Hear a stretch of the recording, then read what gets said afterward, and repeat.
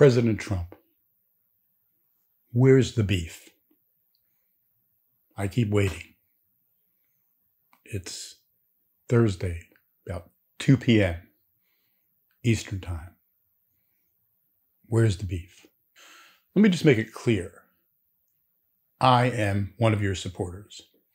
I voted for you in 2020. I voted for you in 2016. You're the only presidential candidate that I've actually donated money to during a campaign. I didn't, I didn't even donate money to Ronald Reagan or George Bush, but I've donated money to you and your campaign. For me, a lot of money. And I'm still waiting.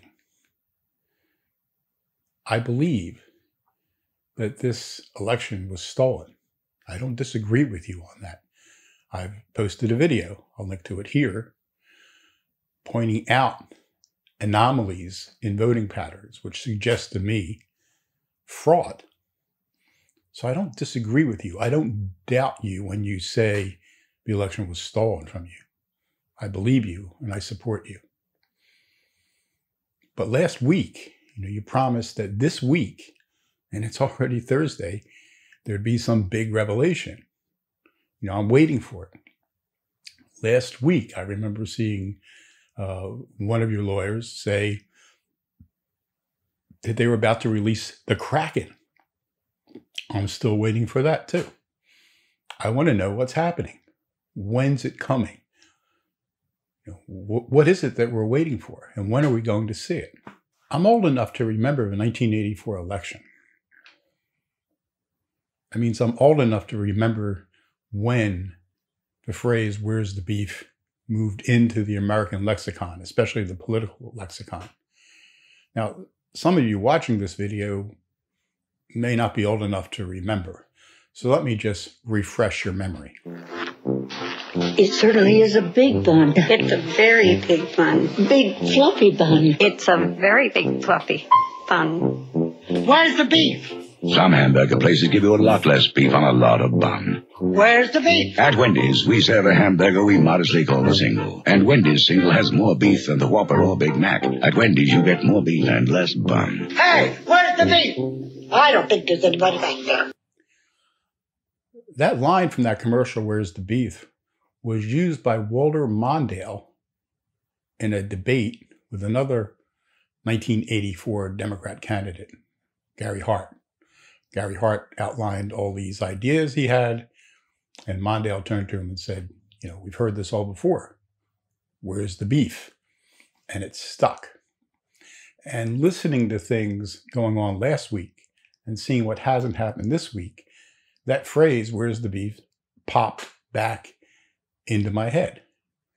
And that's what I'm asking is where's the beef? Because I'm starting to get worried that there really there's no beef on that bun.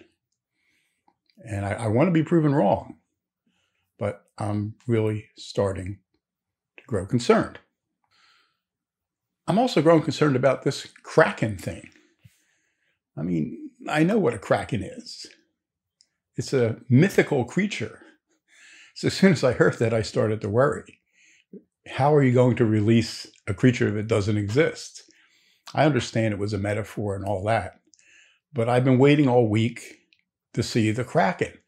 The closest I've gotten to a Kraken was, I think, Monday for lunch.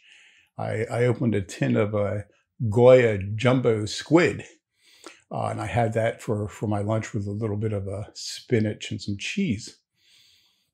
Is, is that was that the Kraken I was waiting for? A can of Goya jumbo squid? I hope the hell it wasn't. I hope there's something else coming. But I have to say, as the days have passed this week, I've grown more concerned. I think of my jumbo squid. I think of the Where's the Beef commercial. And now, Thursday afternoon, I'm beginning to wonder that there is no beef, there is no Kraken. So, what I'm hoping is that you prove me wrong. And that over the next several days, hopefully within a week, I'll see the Kraken. I'll see the beef on the bun. Because if not, I'm going to get really concerned. Not because I don't think this election was stolen, don't get me wrong, but because I'm afraid that it was stolen and that if nothing's done in response to that, and Joe Biden becomes president of the United States, and they got away with theft, they're just going to do it again and again and again. I truly fear, and I've pointed this out in another video, which I'll link to here. My fear is that the election of 2016 was the last predominantly fair, non fraudulent national election we will have had in this country. That 100 years from now, when we look back, 2016 will be the last real election at the national level. That's my deep concern. And if there is no Kraken, if there is no beef, God save us all. Anybody watching this video out there, let me know what you think. Leave a comment. Give it a thumbs up. Give it a thumbs down. Am I being too harsh on President Trump in the campaign?